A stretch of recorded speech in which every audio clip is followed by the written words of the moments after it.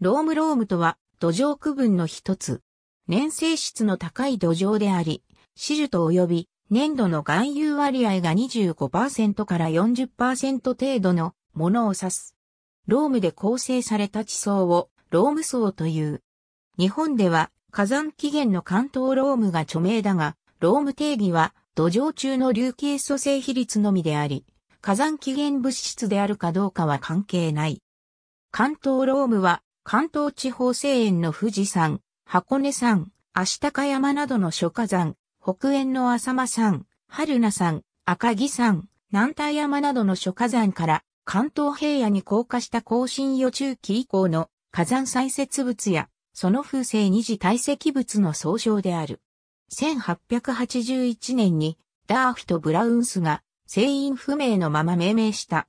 火山灰や風、生二次堆積物が堆積した場所が湿潤環境だと、その上に植物が生い茂り、腐食土層が溜まって黒色となり、これは黒木土と呼ばれる。最終表記以降は気候が湿潤であるため、火山灰がロームにならずに黒木土になっている。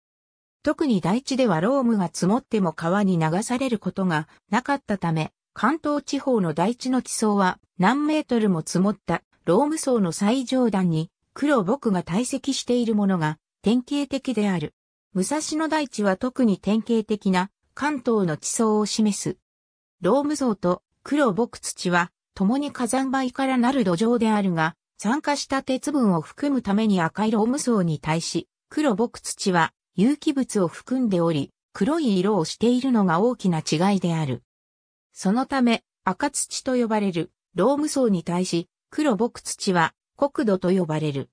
また、黒木土はローム層よりもできた時代が新しいため、土の粒子が粘土化しておらず、土がボクボクした感触となっている。